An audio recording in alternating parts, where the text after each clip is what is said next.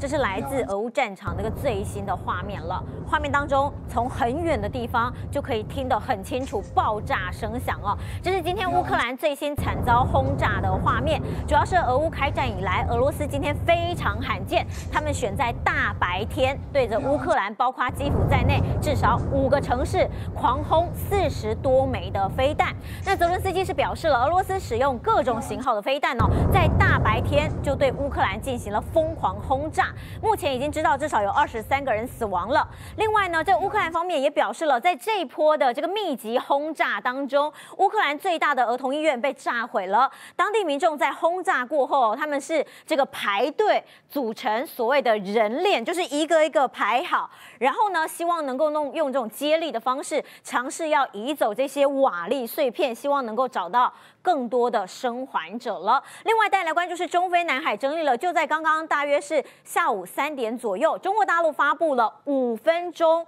好这个短短的记录影片，名字呢就叫做“仁爱礁南沙之泪”。他们是控诉菲律宾在仁爱礁的军舰呢马德雷山号已经这个在当地呢坐滩了二十五年。好说这二十五年来已经严重破坏了仁爱礁的生态系统了，导致珊瑚是大量死亡哦。这短短五分钟的影片呢，是真实记录了仁爱礁受伤的二十五年了好，几个最新提供给您了。